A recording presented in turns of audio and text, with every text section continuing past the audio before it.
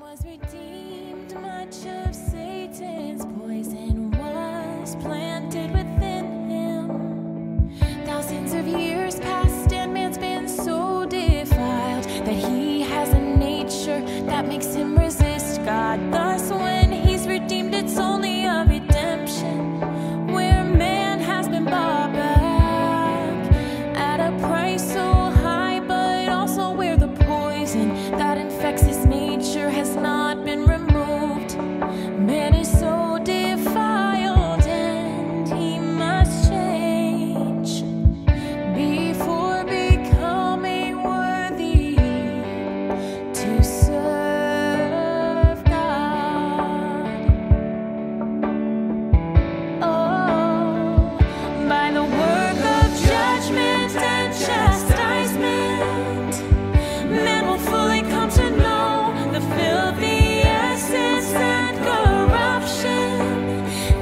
exist me.